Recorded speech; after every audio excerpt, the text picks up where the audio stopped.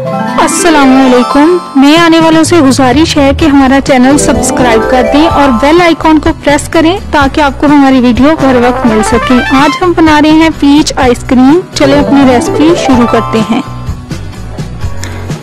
पहला स्टेप शुरू करते हैं। हमें इसके लिए एक कप व्हीप क्रीम या वेजिटेबल क्रीम और साथ ही एक मिल्क पैक का छोटा पैकेट चाहिए होगा। चले, अब हम क्रीम बीट करते हैं। इसके लिए सबसे पहले हम एक कप चिल व्हीप क्रीम बोल में डालेंगे और इसे दो से तीन मिनट तक अच्छी तरह बीट कर लेंगे।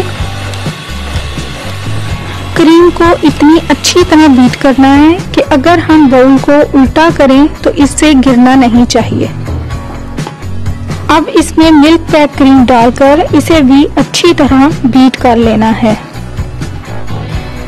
अगर आपको हमारी वीडियोस पसंद आ रही हैं तो आप हमारे चैनल को सब्सक्राइब करें और ज़्यादा से ज़्यादा हमारी वीडियोस को शेयर करें ताकि हमारी हौसला अफजाई हो सके।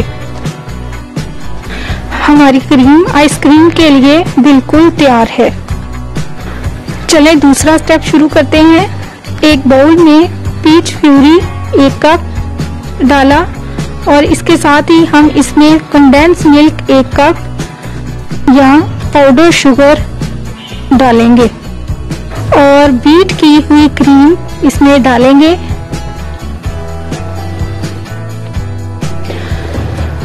वनीला एसेंस के चंद कतरे हम इसमें डालेंगे और इसके साथ ही इसे अच्छी तरह मिक्स कर लेंगे। मिक्स करने के बाद अब हम इसमें बादाम कुटे हुए और के टुकड़े आधा कप डालेंगे और इसे मिक्स कर लेंगे।